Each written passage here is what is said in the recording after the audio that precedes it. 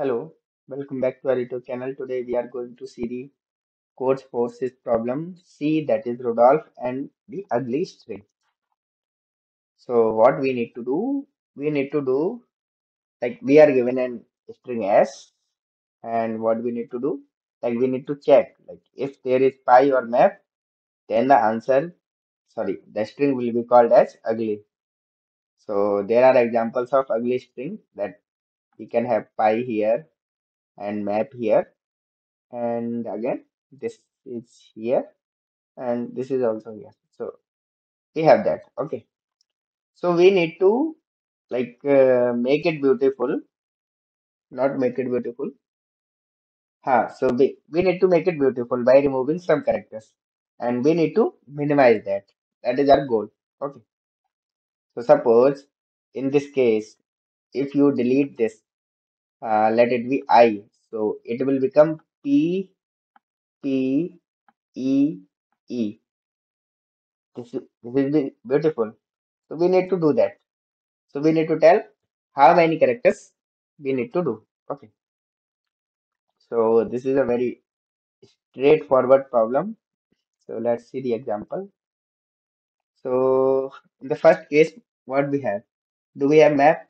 Yes. Do we have pie? Yes. If we have this character, so what we can do? Like suppose if we have map, just think if we remove this A, then like let it be here it is available M or here it is available F. If we delete this, like if we delete M, then it is possible. It can again form MAP. But if we delete A, then it can't. So that means we can delete this A. If MAP is present, we will delete this. And if pie is present, we will delete this I. Okay. But we need to see, like, there are cases where we can go wrong. Where, like, suppose if you have this thing so let it be m a p. This is the string. And again we have p i e. Right. We have this. We have this. So if you remove a here and i here that means we are removing two characters. Right. But no no no, no. i've done something wrong. So let's wait, wait, wait. so suppose not this. This p i e. If this is the case then map is also present pie is also present right? So if we delete a and i then we'll delete two characters. But this is not the minimum. We can achieve this by deleting p. If we delete p then what will become? M a i and c. So this does not contain map or pie so we can directly achieve the success.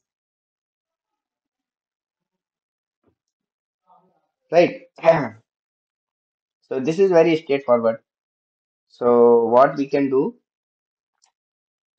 to avoid this like either we can not check this or we can jump it. There are two options like suppose if p is part of this then what we can do? Like we can't include p here we can do like this. This is one possible solution. Or otherwise we can check separately if something like that map i if something like that we need to add one character only. So this is not the right thing i feel but we can do other way. Okay. So let's see the code for this. So what we need to do we need to take the input and we just need to like iterate from i equal to 0 to i less than n minus 2 because we are taking the substring of length 3 that's why.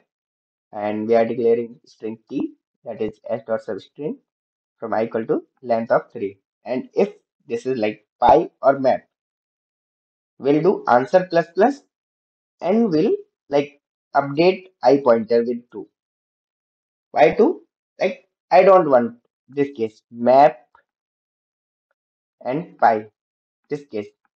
If we found this, I don't want to like make it happen pie. I just want to ignore this. I just want to start from here so that this duplicate case can be handled, right? Hope you understood the solution. Like this video, subscribe the channel. Thank you and keep coding.